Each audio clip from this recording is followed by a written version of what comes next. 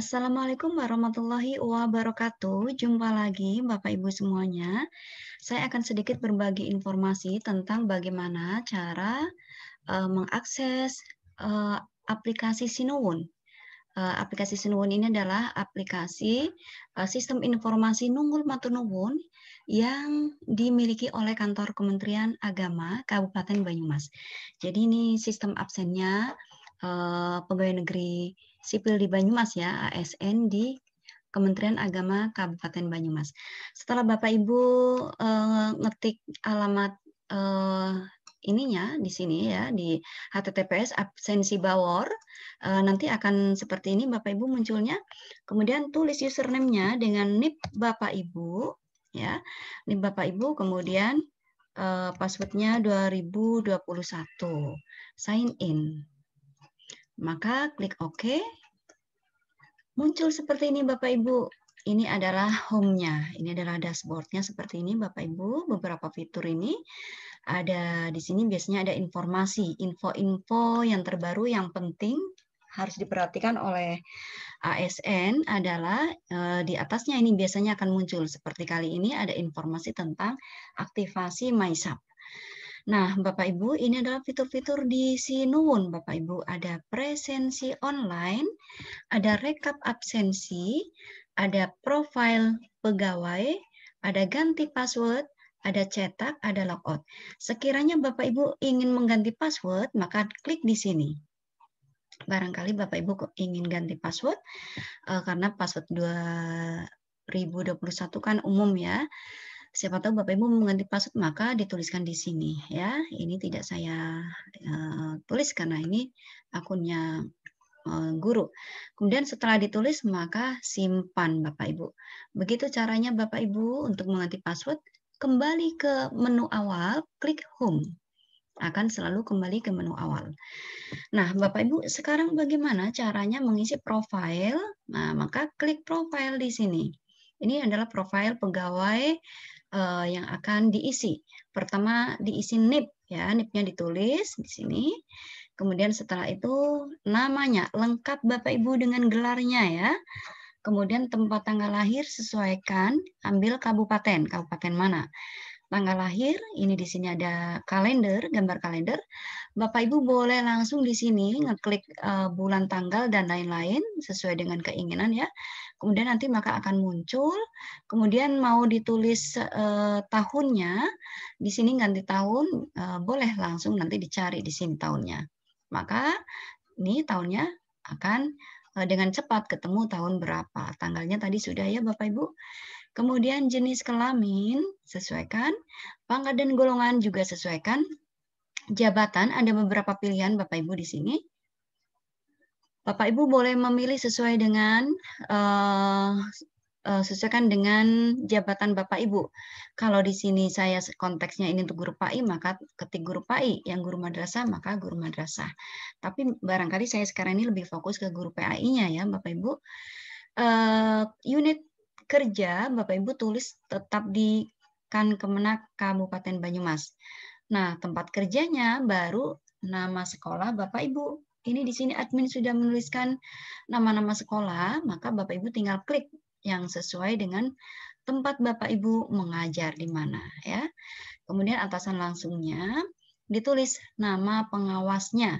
Jadi kalau guru di sini atasan langsungnya pengawasnya karena nanti akan terkait dengan penilaian, penilaian uh, kinerja, kemudian uh, apa itu SKP, kemudian perilaku dan seterusnya. Oleh karena itu pilih di sini nama pengawas atau langsung ditulis biar cepat. Nah, nama pengawasnya. Jadi Siti Nur Hidayati kalau ini ya. Ini sudah langsung diketik kemudian nomor WA jangan lupa Bapak Ibu karena ini nanti untuk uh, umpan balik atau untuk pemberitahuan info-info dari admin seputar tentang Sinuwun ini. Setelah itu baru simpan Bapak Ibu ya. Setelah disimpan maka akan muncullah profil kita di sini ya. Nah, kita cek di sini profilnya. Seperti ini Bapak Ibu profilnya. Kembali ke menu awal, home, diketik, diklik. Nah, Bapak Ibu sekarang bagaimana cara untuk uh, absen ya, cara untuk absen. Caranya ini di bagian presensi online diklik Bapak Ibu. Klik bagian sininya yang lebih mudah. Kadang-kadang suka-suka macet soalnya. Nah, ini Bapak Ibu direkomendasikan menggunakan Android Bapak Ibu agar hasilnya lebih optimal karena beberapa laptop barangkali kurang support sehingga nanti hasilnya kurang optimal. Oleh karena itu direkomendasikan menggunakan Android agar uh, pembacaannya itu lebih optimal.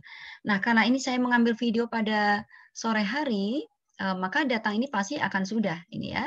Ini sudah melakukan absensi, maka yang pulang juga mungkin ini sudah. Oh ya, ternyata sudah ya.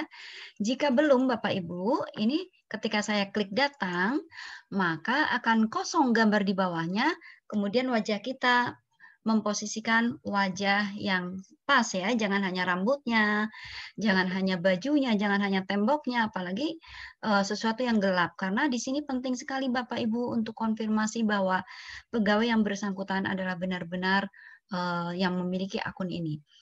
Dan jangan lupa Bapak Ibu, ketika Bapak Ibu WFH bekerja dari rumah, sebaiknya Bapak Ibu memperlihatkan gambar uh, ketika Bapak Ibu menunjukkan sedang bekerja ya, kalau bisa, kalau bisa seperti itu. Itu akan lebih baik sebagai bukti fisik juga bahwa Bapak Ibu sedang bekerja. Misalnya ngadepin uh, menghadap kertas-kertas atau komputer atau apa hal-hal yang berhubungan dengan uh, ini dengan pekerjaan Bapak Ibu ya. Ya kalau misalnya tidak memungkinkan ya yang penting fotonya jelas seperti itu. Uh, ini pulang juga nanti begitu Bapak Ibu. Ini kalau pulang ini barangkali tidak selalu uh, sesuai ya. Kadang-kadang kan pegawai pulang pada saat sudah di jalan baru ingat absen. Atau kalau WFH ya berarti ya mungkin Bapak Ibu sudah selesai kondisi bekerjanya sehingga uh, nanti mungkin gambarnya tidak pas bekerja atau dalam kondisi sedang bekerja ya uh, masih bekerja itu lebih bagus lagi. Seperti itu Bapak Ibu. Nah, setelah itu Bapak Ibu uh, maka akan terlihat gambar seperti ini. Bapak Ibu, Bapak Ibu boleh disilang di sini. Sudah selesai. Ya, sudah selesai boleh disilang. Kemudian Bapak Ibu kembali ke home untuk melihat uh, fitur semuanya. Nah, Bapak Ibu, di bawah ini akan terlihat eh, pegawai-pegawai yang sudah pada melakukan absensi. Di sini akan terlihat Bapak Ibu mau melihat ngecek teman-teman, maka akan terlihat di sini ya. Akan terlihat di sini siapa-siapa yang sudah melakukan absensi. Uh, ini banyak keuntungannya Bapak Ibu untuk ngecek teman-teman juga di sini lebih mudah karena Bapak Ibu yang tadinya tidak saling mengenal juga akan bisa melihat di sini sehingga uh, akan uh, mengenal pegawai-pegawai di kantor Kementerian Kabupaten Banyumas. Kita kembali ke home Bapak Ibu. Ya. Nah, ini tadi sudah presensi online. Bagaimana Bapak Ibu melihat hasil presensi online-nya ya? Uh, saya akan perlihatkan uh, ini dulu sebentar biar uh, melihat hasil yang melihat hasil yang sudah lengkap, saya mau masuk ke akun yang sudah lengkap saja, karena ini tadi guru kan belum lama mengikuti uh, Sinuwun ini ya, sehingga hasilnya mungkin belum banyak. Kita melihat sekarang di sini rekap absensi Bapak Ibu. Ini seperti ini rekapnya. Ini bi bisa dalam bentuk Excel Bapak Ibu, ini Excel. Nah, Excel maka akan terdownload Excel di sini. Nah, ini kalau Bapak Ibu ingin melihat Eh, Excelnya seperti ini, seperti ini bentuknya, Bapak Ibu ya. Tetapi jika Bapak Ibu menghendaki eh, PDF, ini seperti ini PDF. Nah, ini ada 10 baris ke bawah, show 10 rows, Bapak Ibu. Eh, ini seperti ini, ini ada 8 halaman. Nah, bagaimana Bapak Ibu akan mencetak absen ini? Caranya kita kembali dulu ke home, Bapak Ibu ya. Setiap kali Bapak Ibu akan ganti fitur, maka Bapak Ibu kembali ke home. Ini gambarnya seperti ini, boleh klik di sini, boleh juga yang tadi tulisan home itu. Ya, Bapak Ibu. Ayo sekarang kita melihat bagaimana cara mencetak uh, rekap presensi itu tadi. Yang pertama Bapak Ibu harus mengetik dulu tanggal berapa yang akan Bapak Ibu cetak. Kalau Bapak Ibu akan menghendaki dicetak satu bulan, misalnya ini tanggal 01 bulannya 07 2021.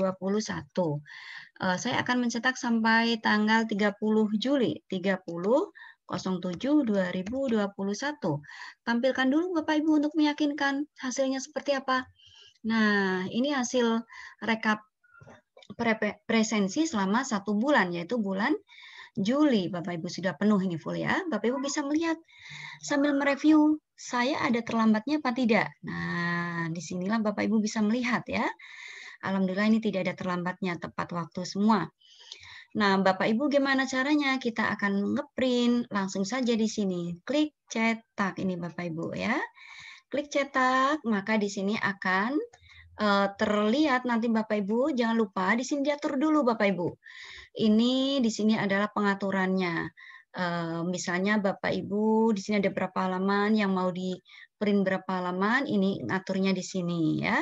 Misalnya Bapak Ibu mau berapa kopi, ngaturnya di sini. Seperti biasalah orang print. Ini juga penting, ini kadang-kadang lupa tidak kita setting. Ya, kita bentuknya potret saja, maka layoutnya seperti ini Bapak Ibu. Kalau kita ngetiknya landscape, maka jadi seperti ini. Eh, biar ringkas jadi satu halaman, maka potret saja Bapak Ibu. Biar memanjang seperti ini. Color, Bapak Ibu menyesuaikan mau uh, black and white atau gimana. Kalau ini kan uh, tampaknya hanya hitam saja ya, ya color juga tidak bermasalah. Setelah itu baru print di sini Bapak Ibu, ya, baru print di sini ya. Langsung ketik print, klik ya, langsung terprint Bapak Ibu. Ini adalah cara Bapak Ibu untuk Eh, mencetak atau mengetik uh, daftar hadir ya Bapak Ibu. Kita akan kembali ke menu eh, ini cancel saja karena saya tidak jadi cetak tadi ya. Bapak Ibu back to home ya, kembali ke menu awal di sini Bapak Ibu paling atas ya. Kembali ke menu awal maka akan muncul seperti ini Bapak Ibu. Kita tadi sudah sampai ke cetak daftar hadir ya Bapak Ibu ya.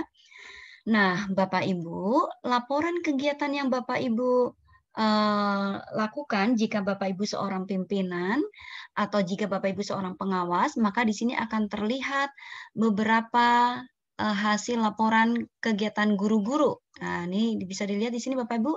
Ini adalah guru-guru binaan di bawah pengawas muncul ini ya karena masih baru jadi belum menuliskan LCKH.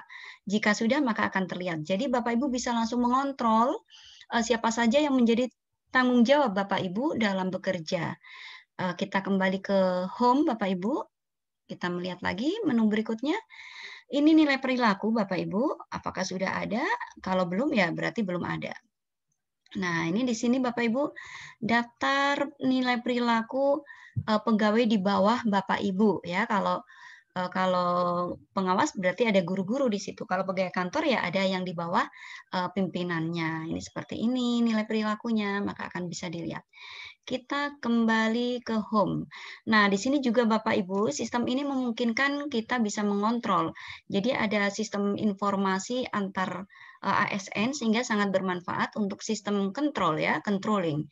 Uh, ini sangat bagus dan kita lihat lagi Bapak Ibu, daftar hadir presensi eh, ASN di bawah kita. Ini juga untuk mengontrol uh, seperti apa uh, pegawai-pegawai kita di sini akan terlihat. Kita bisa mengontrol, oh si A, si B seperti ini. Untuk pagi sore ini belum uh, absen, ternyata terkontrol semuanya di sini.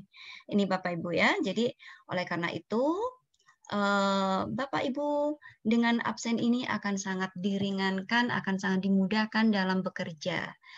Uh, jangan lupa sekali lagi setiap kali Bapak Ibu mau kembali ke menu awal, maka Bapak Ibu langsung klik home di sini ya Bapak Ibu ya. Seperti tadi ketika saya melihat ini presensi uh, siapa yang ada di bawah kita ini bisa klik di sini bisa juga di home ini. Bisa klik halaman utama, bisa juga home yang ada di sebelah kiri kita. Begitu Bapak Ibu, kita sudah melihat fitur-fitur yang ada di Sinuwun dari presensi online sampai dengan presensi yang ada di bawah kita. Bapak Ibu boleh log out, keluar, boleh klik di sini, ini logout. Boleh juga di sebelah kiri, ada tulisan keluar, bebas mau yang mana Bapak Ibu. Nah, demikian tadi Bapak Ibu, tutorial sedikit, informasi sedikit bagaimana kita menggunakan sistem informasi Nungul ya Sinuwun yang dimiliki oleh kantor Kementerian Kabupaten Banyumas Kebanggaan ASN di Kemenak Kabupaten Banyumas ya Bapak Ibu. Eh, demikian mudah-mudahan kita akan berjumpa lagi pada uh, tutorial berikutnya bagaimana cara mengisi LCKH Bapak Ibu. Jangan lupa nanti disiapkan SKP Bapak Ibu untuk menginput program-program yang akan Bapak Ibu isikan di uh, eh, LCKH. Eh, sekian, terima kasih atas perhatiannya. Jangan lupa like, subscribe, and share, dan komen agar informasi ini bisa diakses oleh teman-teman di seluruh Kabupaten Banyumas. Terima kasih atas perhatiannya. Wassalamualaikum warahmatullahi wabarakatuh.